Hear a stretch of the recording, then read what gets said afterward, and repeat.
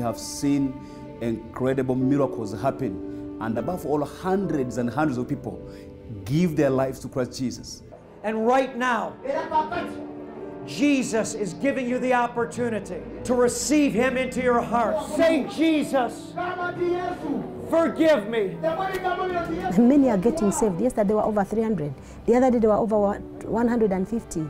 And these are not young kids. These are, these are mature people, mature men and women. That shows you that they are determined, they are serious, they are committed. We had one testimony of a Muslim girl.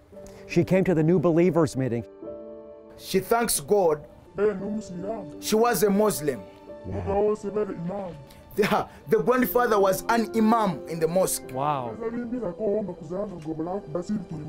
That their, their friends come and they could and they sing, but when they come and they go back, their grandfather canes them. She had felt the drawing to Jesus, and she was even sneaking out and going to churches. And when she got back home, her Muslim grandfather would beat her.